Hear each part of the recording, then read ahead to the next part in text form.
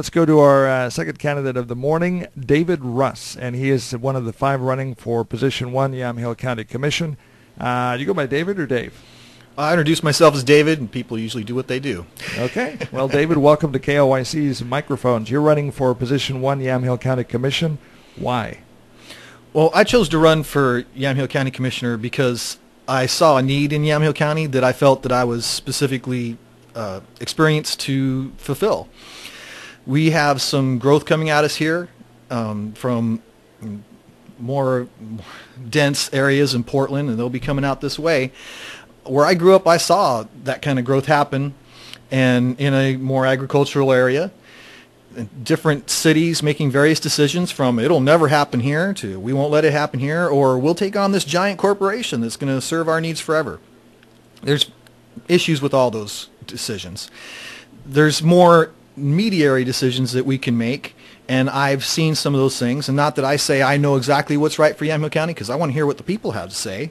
But as they say we think we should do this, I can say well if you go down that road these are the speed bumps on it that kind of thing. Or you go this way, this is a speed limit, you'll hit. So I want to be there to help direct the county and, and help the growth happen in ways that are the most prosperous and enjoyable for the people that are here now and maintain the beauty we have that's Yamhill County. What area was it that you come that you saw those incidents? Um, Los Angeles, you saw miles and miles of strawberry fields, orchards, cow pastures turn into solid houses. Um, in some cases, like I said, the, those so many houses that you couldn't even find gas for miles and miles. And those people need some gas. So there are little things like that you need to think about as you grow a city that make sure that you place things in certain areas that separate different businesses and different neighborhoods so you don't cause blight. You don't cause people to not want those houses and have them devalued because there's no commerce, commerce near them. So things like that. If you had uh, were asked what are the top three challenges of uh, facing Yamhill County in the future, what would those be? Well, I have top three things I'm kind of working with that I believe this is my priorities. I, I see so many things in government as interactive, and you need to consider all those as you go. The thing I mentioned first was growth management as that comes at us, we have to make sure that it's not just going the way that the people coming at us want, but what we want and the way that it best is profitable for us in the future and creates stability for our agricultural base and, and maintains the beauty that we have. And so that growth management has to do with economic development, land use issues, and you know even various smaller things, ordinances of signs and things like that. The next thing is budget management. And the way I look at that is we need to bring more business into the way government's done. I've got experience in continuous improvement, quality management, Kaizen, that kind of thing, and I'd like to see more of that in government. As growth comes at us, any businessman knows that growth causes a stress in your systems and a stress in your budgets. And the best way to guard against that is to improve your systems as that happens or before it happens. So you're leaning out your expenses and you're making things happen better and faster. And that way, as the growth happens and your budget gets tight, you can worm your way through that without as much stress. Finally, being kind of a small county or having, you know, 80% of our cities in this county be small, we need to bolster them to bring up the whole. You know, any chain is only as strong as its weakest link. And so I want to work more to develop a synergy between all the cities and the county to help with economic development for the whole so that when we take actions or, or we encourage businesses to come here, we can take the strongest points of every area of our county and direct them toward that and help to bolster the, the different small cities and things. You know, as, as a city councilor of Dundee, which is one of our small towns, I, I know the stresses that the small towns go through. Now we we can't necessarily you know bring each one of them up, but if they all come to the table and we all talk, we may find ways that those small towns can serve the future better than some of the larger towns and bring all of us up together at one time. Let's talk about uh, a couple of the hot button issues likely to face uh, Yamhill County and other counties in Oregon and across the nation. Medical marijuana dispensaries first, and then Second Amendment um, gun rights. Uh, what we do in that particular issue. Of course, you heard us talking earlier this morning about there was another shooting in the FedEx facility. Um, and it just keeps coming up every day. Let's talk about medical marijuana dispensaries. Your position, how you feel it's been rolled out, and how Yamhill County is going to respond and should. Well, medical marijuana has been a question in Oregon for, was it eight or nine years since it first came out. My concern is that until now, the medical marijuana laws and situation in Oregon have supported the underground. When you create a medical marijuana availability, the card for these people to have it, but you don't create a place for them to go to get it, they're going to go on the streets and get it and expose themselves to dangers. Not only that, but build up the whatever cartels that are distributing those drugs. So it's it's a support for the underground. I see creating dispensaries as an opportunity to shut down that underground. Now, to say that the law is perfect as it is, no, it's not.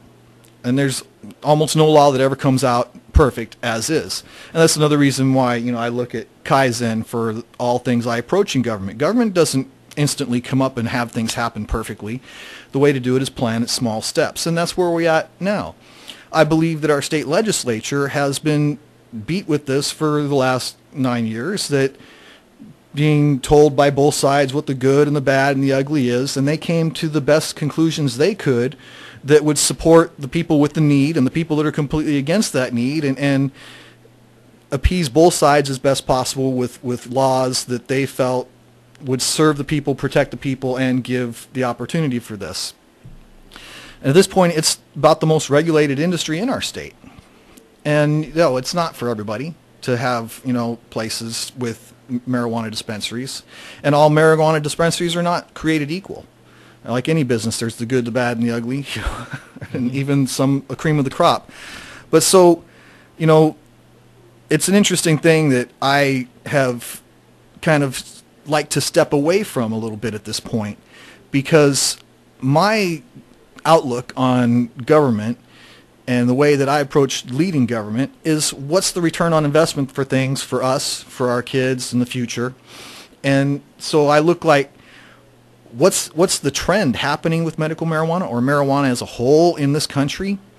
And for us to overwork this at this point seems like kind of a, a lot of wasted effort especially when you know in the next year there's probably going to be another full legalization measure in November and state legislature has already stated they're going to be reworking and rehashing all these laws in the next year. You know, all these cities, including Dundee, who have come up with the uh, moratorium, are thinking they're going to create some new legislation. Well, the truth is, is when the state legislature gets done, those legislations may be ruled out that you can't have them, or things may be completely legal and they're out of the question so it seems like wasted effort, and that's what I'm kind of against. Is a lot of wasted effort in government. So what should we do now? Is the moratorium the right, right thing to do? For now. Well, for now, um, I still question the the rightness of the moratoriums. Like I said, it does give us a chance to not have it in certain areas or something. That's something else I was concerned about. Is is this creating a moratorium? first of all, is an emergency legislation, which I tend not to support. There's been lots of complaints people have told me about our state legislature doing emergency legisla- legislations and bypassing the, the true legislative process. Um, and um, also that it's like saying, we want to pass this law that says it's going to give us opportunity to pass some laws that we don't even know what they are. And that doesn't sound like a plan to me. It sounds like maybe there's some other um, motive. And I want to make sure that in government we state our motives. If our motive is to say we don't want dispensaries, let's say that right out. Let's pass a law that says that rather than, oh, we're going to put a moratorium on it so that we can create some laws that appear to control it but actually say no.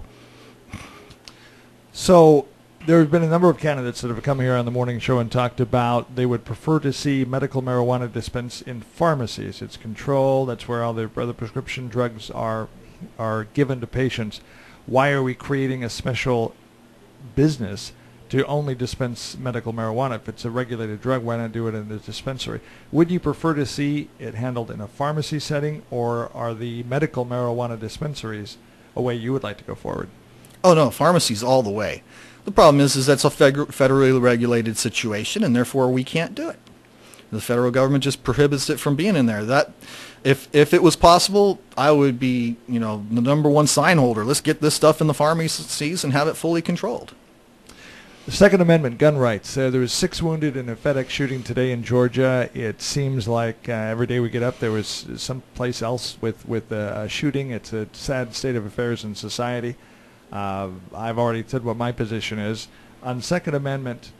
Uh, the right to keep and bear arms, guaranteed by the U.S. Constitution presently. What's your position on that? I definitely support the Constitution, and in not only this way, but always. That we have the right to you know, uh, keep and bear arms. You know, I've I've often had the conversation with people that, you know, when that law was cre- when that was created in the Constitution, that the citizens could actually have any arm that the government had. I don't know that I fully support that right now, but it's still that's the intent of that constitutional amendment or the original Constitution. Um, and like Tim Casey said, it's not the guns that's out there; it's the people. And it's the same thing with anything else when you add a human factor. You know, there's people that say marijuana is, you know, take, go back to that, is a gateway thing, right? Mm-hmm. Well, the way your parents treated you could be a gateway to drugs. It depends on who you are, who they were, your, your whole society around you, your psyche. And the same thing applies back to guns. Bring it back around. It's your your ability to control yourself and such that you're going to do whatever you do as a human being that you feel right or don't feel right or want to attack or don't attack. If you want to, if you can't get a gun, you're going to find some other way if you really have this intention to go out and hurt people.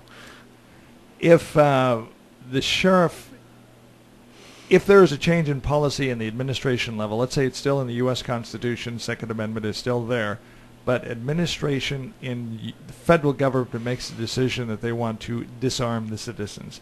All of the candidates for sheriff are saying they will not be a party to the federal government disarming citizens of Yamhill County.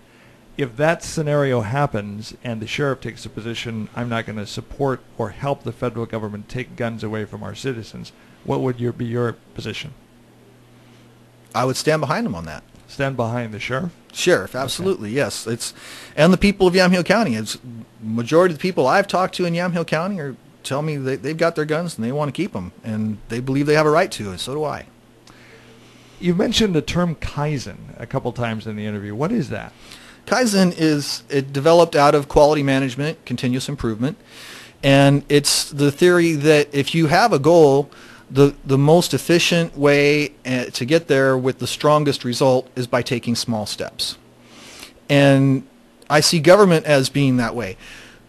And that's the way it usually happens, but people don't always expect it to happen. People want sometimes big results from government, and they'll set a big, lofty, far-off goal.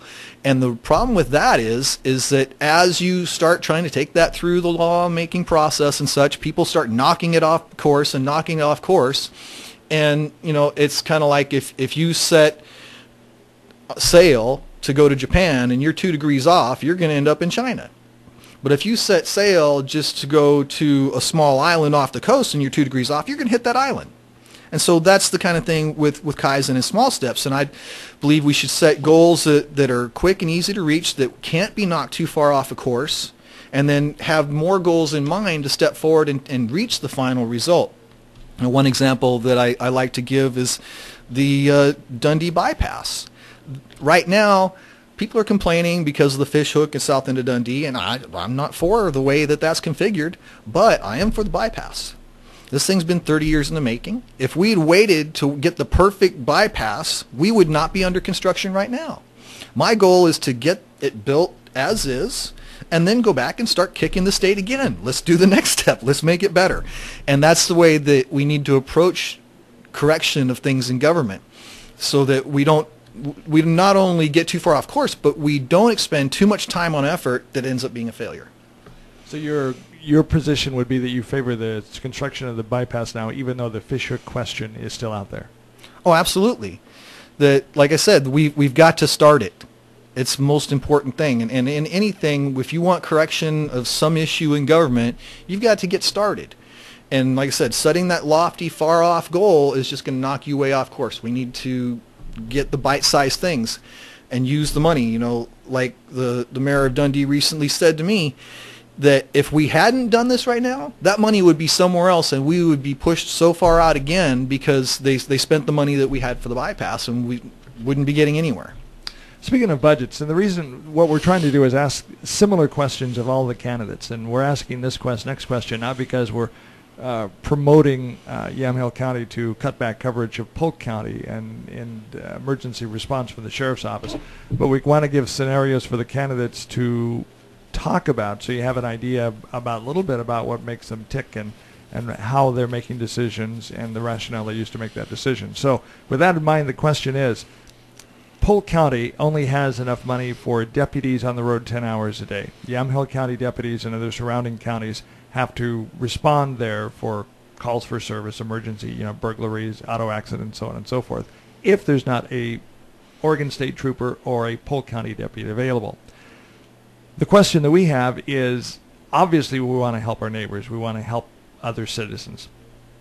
But where do we draw the line, and do we draw the line in making sure that Yamhill County is covered, but not at the expense of trying to cover another county that can support and pay for their own law enforcement? This is a really complex question. I understand that.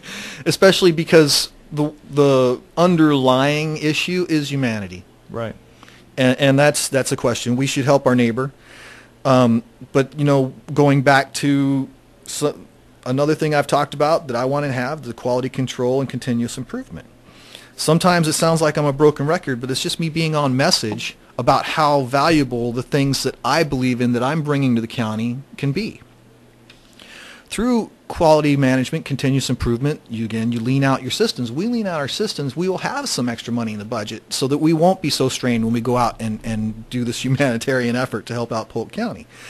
Also, as a county commissioner, I would make sure that I'm trying to stay in contact with the other counties surrounding Polk uh, to find out that they're putting in effort, that it's not going to be so much just on us, that we're sharing in our help of these people. Finally, I would like to request that the sheriff say, what is, what do you think your expendable budget is to put into that before it actually starts affecting our citizens? Because that's who we really have a responsibility to. And no matter how humanitarian we want to be and go out and help people, I can't justify anything shortchanging our citizens. And so I would want the, the sheriff to basically set up kind of a budget item for that and try to stick to it and at, at some point have conversations with Polk about, you know, we may have to limit our time frames or, or the amount of response that we can give or that we need backup from these other counties when we go in to try and maintain that budget.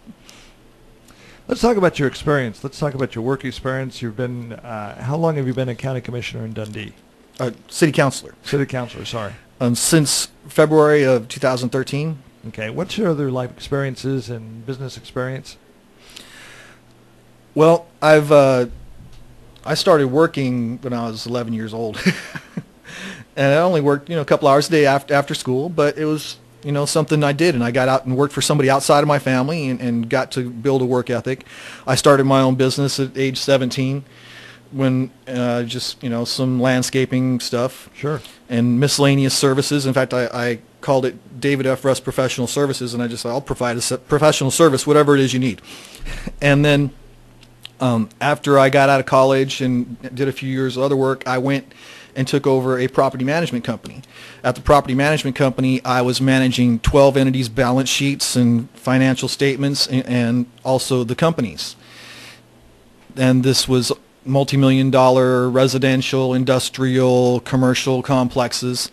So I got a lot of experience interacting with city councils, dealing with those places issues and dealing with budgets and multiple budgets, multi, multiple million dollar budgets that had, you know, somewhat of an interaction. After I left there, I, I went into manufacturing. I've worked as an executive in clothing manufacturing and sheet metal fabrication, a little bit of machining. So I have a lot of this experience of, of running a business, of dealing with budgets, being an executive, being on boards, and that's what the county commissioner is. They're the board of directors for the county. You know, as, as a corporation, you have your presidents, which would be our uh, various department heads, and then you have the board of directors, which is above the president. And in the county, that's that's your county commissioners is the board of directors. So I've got board experience as well. Um, and then also with my experience at Dundee City Council, I've added to that to uh, be more familiar with the local small government at an in-depth level and going to the local county city dinners. I got familiar with the different cities and I've interacted with them personally. I've talked with all the mayors at these dinners and the city councils. Been out to the city councils back since, you know, talking to them, and introducing myself as a candidate. So we've got uh, about, let's say, four minutes left to go in the show. As they look at David Russ for Yamhill County Commissioner position one, they have five choices. Why, when they come to your name on the vote by mail ballot, should they mark or tick the box that says David Russ? Wow. Um, well, because I have this idea of bringing, like I said, business into government to lean out the systems, to make everything stronger, provide better services for Yamhill County. I recognize that Yamhill County is one of the top agricultural counties in the state, and I'd like to see it stay that way. That's something that helps maintain our beauty.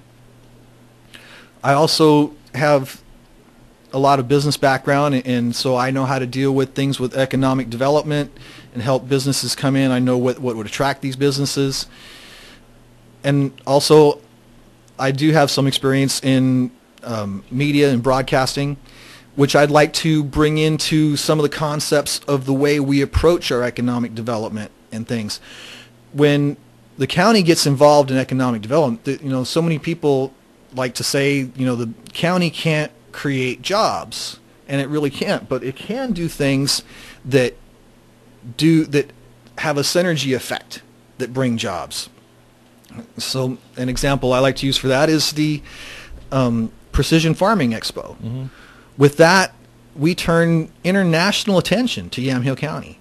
And it's that kind of thing, trying to get find those niche things that'll bring an international attention to the county and turn heads this way that'll really boost our economic development. The county can step in and help out with those kind of things. And I have, like I said, I have this experience where I know how to utilize those things. In fact, I'm trying to use my media experience to run my campaign, which is kind of a, a long, hard road. Rather than putting out all these signs and being part of the plastic sign crop out there, I'm looking to spread the word through my website, davidfruss.com, facebook.com slash Russ is for us. That's my motto, you know, vote for Russ, he's for us. Uh, that rather than, again, what's the ROI? I'm putting a bunch of signs out and a bunch of plastic that's just going to get thrown away. I don't see that. I don't want to waste all bunch of people's money to get into office so that I can spend their money when I'm in office. Um, and it's interesting because as I tell people that, I don't want to be part of this plastic sign crop. Rather than ask me a question or say, "Oh, that's great," most of them, the first words out of their mouth is "Thank you." For not spending the money on signs? Well, for not putting up all that clutter and and, and a bunch of stuff to throw away.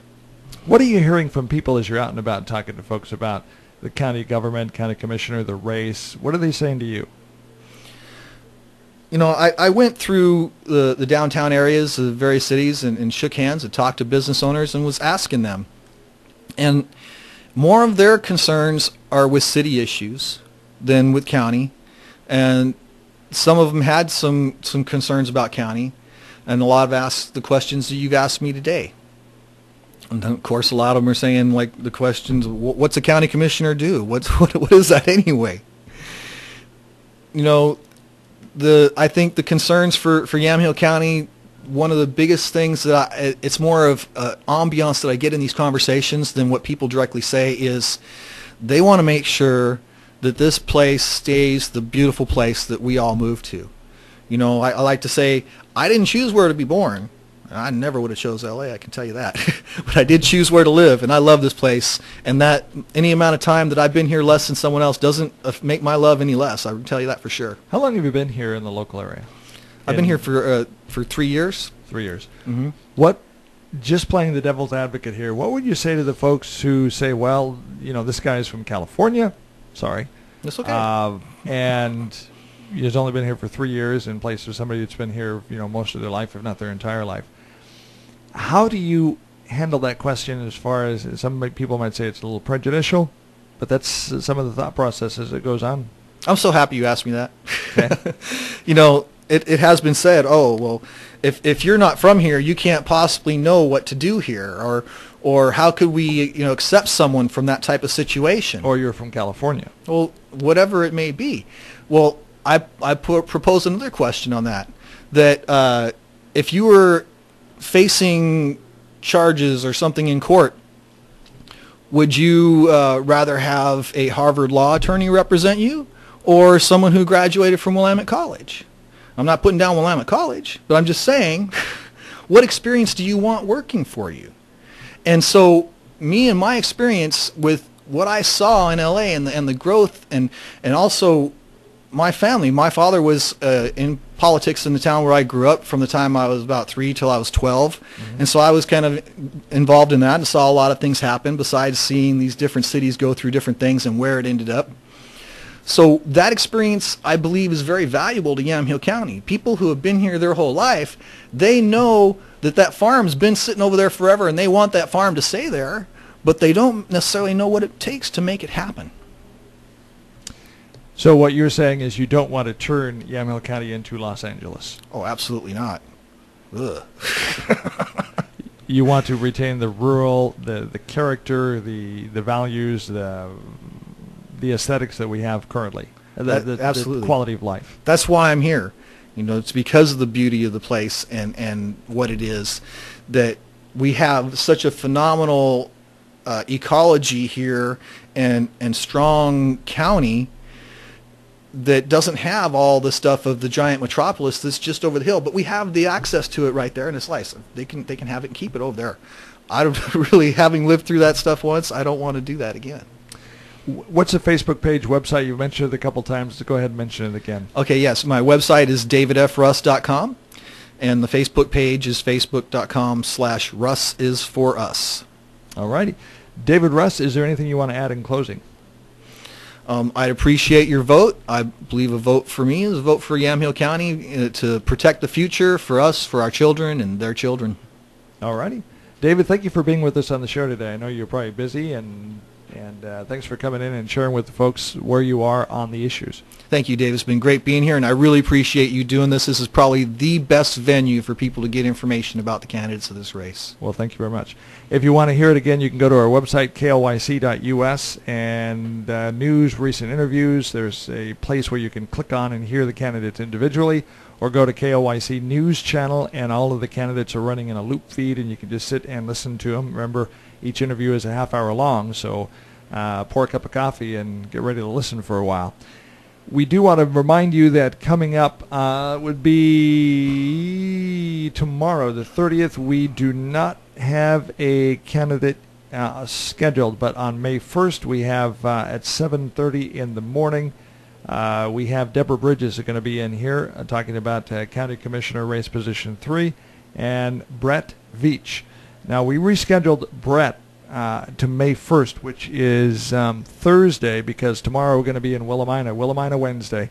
Uh, one of the things that we want to do as a radio station is is reach out to the smaller cities in the county. Um, we love McMinnville. McMinnville's great. UFO Festival, uh, Turkey Rama, everything. We love it. This is a where the station has its license, but we also serve Yamhill County, and so we want to spend time going out into the other cities in the county. And so Wednesday is the day we go to Willamina Sheridan. We'll be talking more about uh, Wallace Bridge tomorrow, but so Willamina Wednesday is tomorrow, and that's why we don't have a candidate scheduled for that. We can focus more on the Willamina Sheridan area. David, thank you for being with us today. Well, thank you again. I'd also like to say that when you get a cup of coffee going and I'm commissioner, I definitely want to be here and make sure we keep people up to date with the issues so that they can give me great feedback to be the best commissioner they could have. Okay. And again, the reason why we've uh, dis, uh, put a cup of coffee on the shelf for a little bit is so we can take care of some infrastructure, some work we're still working on at the radio station. Uh, but we will bring the program back on a on a regular basis so we can get county commissioners, city school board members in here and talk about some of the issues. It's kind of interesting in that we've had both parties. We've had people say, "Don't turn it into a talk radio station." and just play music. And then we've had people say, put more local news and information on there. So we're trying to cut a balance between the two. Uh, but it's important, and we want to do it in a morning show on a regular basis, probably not every morning, but on a regular basis, to talk about issues in the county and the various cities. So we will be doing that. David, thanks for being with us.